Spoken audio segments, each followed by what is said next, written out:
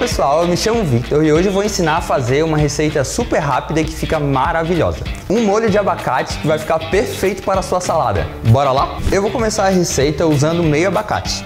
Vamos cortar em pedaços e colocando no liquidificador. Vou adicionar o suco de um limão e um quarto de xícara de azeite de oliva. E para deixar ainda mais completo, eu vou usar um scoop de Fiber Lift, o prebiótico da Essentia. Depois de juntar os ingredientes, é só bater no liquidificador. Viu como é fácil?